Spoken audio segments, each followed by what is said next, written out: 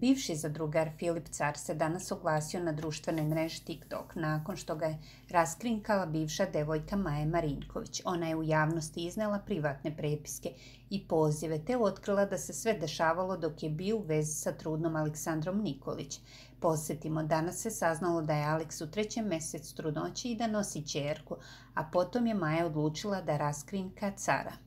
Kako Filip istakao, ne želi da daje pažnju Maji, već da se fokusira na svoju buduću naslednicu.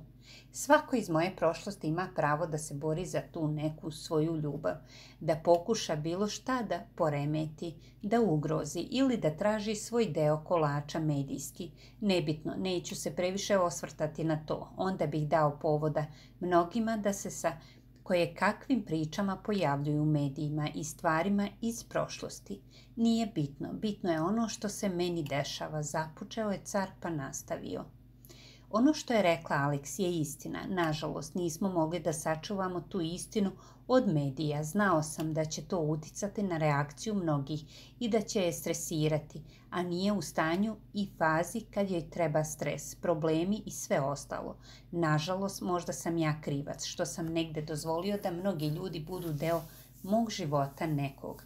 Što se tiče novinara, redakcije, produkcije, molim vas, nemojte me zvati. Neću davati izjave i intervju. Fokusiran sam na samo jednu stvar, a to je nešto prelepo što mi se desilo. Nešto što je se pravilo iz ljubavi. Kakva god da bude i situacija, ona će za mene biti posebna.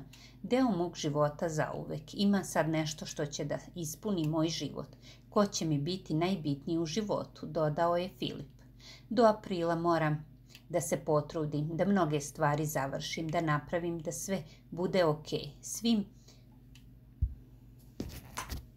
dušebrižnicima, zlim jezicima kažem da me boli p za to što se priča. Bitna mi je ona i dete koje čekamo. Imamo svoje planove i ciljeve. Ovo je za mene srećna vest. Gledat ću da se previše ne priča o bilo čemu. Ne želim da je dovodim u neprijatnu situaciju. Bili zajedno ili ne, to je naša stvar. Bitno da je sve ok i da nam je neko treći najbitniji. Imajte razumevanja, nemam volje, želje, ratove, a kamoli intervju i izjave, istakao je on.